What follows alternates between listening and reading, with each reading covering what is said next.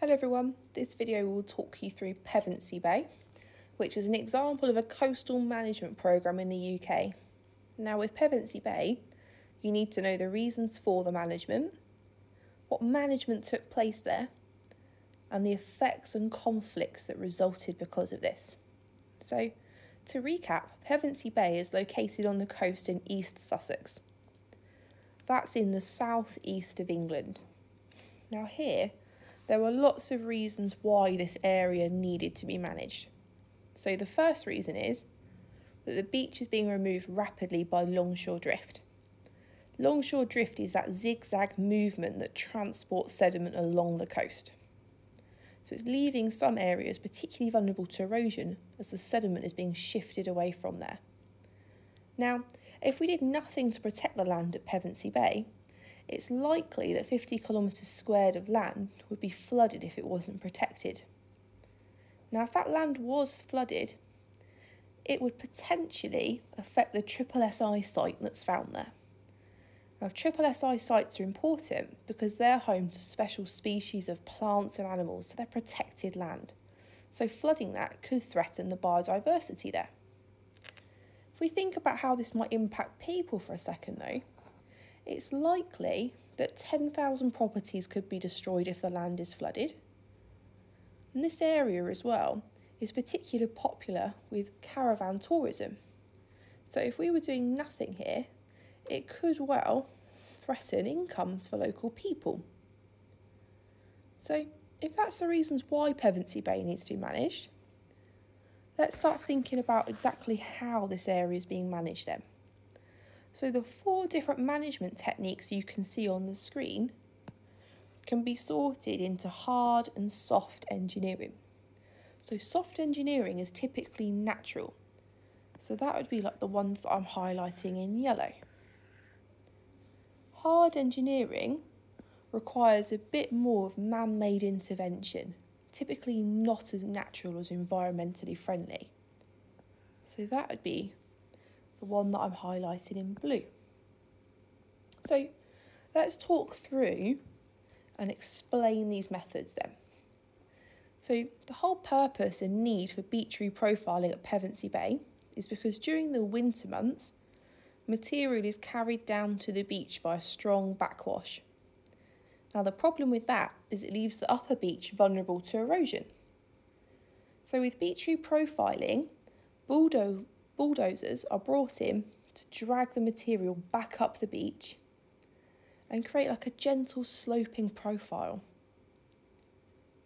With beach replenishment, we've already spoken about the threat that longshore drift poses to the area. So this means that material is constantly being lost. So this material, as part of beach replenishment, is replaced when it's dredged from the seabed and sprayed back onto the beach. So to do this, they use an adapted boat which can come close to the beach during high tide. So this method mostly takes place during the summer months and they do it then because there's fewer storms. Storms always remove a lot of sediment from the beach, so it'd almost be like doing it twice, you might as well wait for the summer.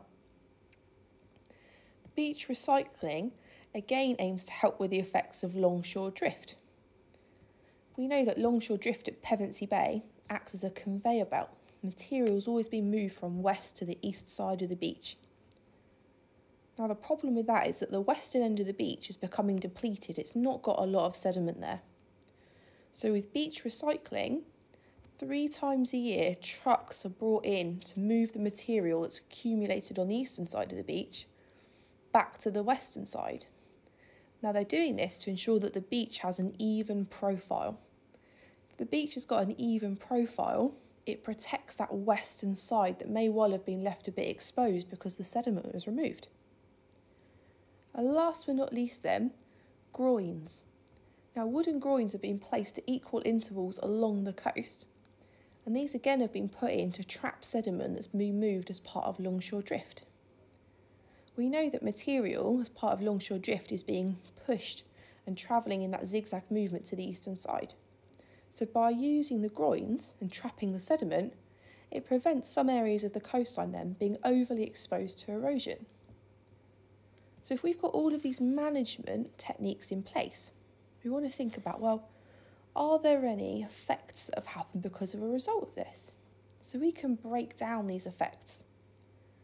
So, positively, we could say, well, they're quite pleasing, especially the soft engineering for residents and tourists.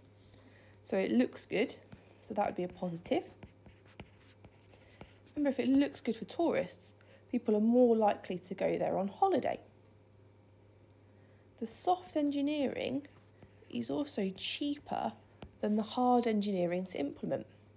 So it could be argued that it's saving money whilst looking good and still attracting the tourists. However, the big negative here is that it requires, with soft engineering, a high level of maintenance. You've constantly got to be checking it and improving it, should it not be right. Oh, I've spelt maintenance wrong there. A bit tired today.